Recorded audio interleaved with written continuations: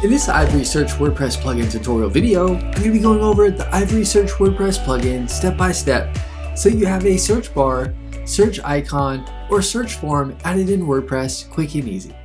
Let's get started. To start, I'm here in the WordPress dashboard. Hover over the Plugins tab in the left side menu. Click Add New Plugin. In the search field, type in Ivory Search. You'll see the Ivory Search plugin showing here. Click the Install Now button to install the plugin.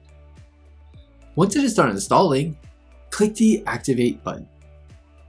Once it is done activating, you'll be on the Never Miss an Important Update page.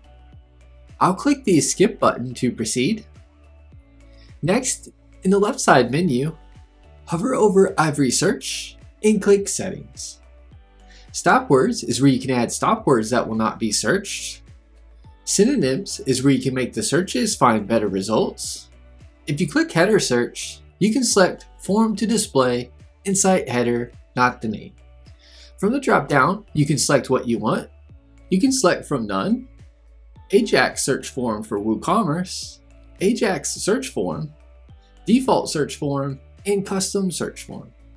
Here's an example of default search you'll see the search form shows at the top of the header area. I'll choose none for mine as I want the search bar to show in the WordPress menu. Footer search is where you can select a footer search to show in the footer of your site. Mobile search is where you can toggle this on to display the search form in the site header on mobile devices. If you toggle this to on, you'll see another option where you want to toggle this on if you're using caching on your site. Custom CSS is if you need to add some custom CSS to the search bar form. When you're done, click the Save button. Next, click Menu Search in the left menu. You'll see you can toggle on to display search form on selected menu locations. I want mine to show in the primary menu at the top of my site. You can select what you'd like for the different menus on your site. Once you select one, click the Save button. You'll see more customization options for the search bar. You can choose to display the search form at the start of the navigation menu. You can select a menu search form style. I'll show you an example of each. Here's the default search form. Here's the drop-down search form. Here's the sliding search form. Here's the full width search form. And here's the pop-up search form. I'll choose drop down. If you choose the default settings above, these two settings I go over won't show. Next, you can select the menu magnifier, search icon color, display search form close icon if you'd like. I'll change the menu form style to default.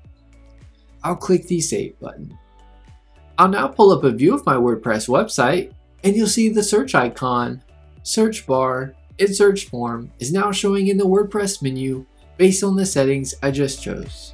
That is my Ivory Search WordPress plugin tutorial going over how to add a search bar in WordPress. Give this video a thumbs up and leave us a comment letting us know if the tutorial was helpful or not as the comments help improve our tutorials. Be sure to subscribe to our channel for more WordPress tutorial videos.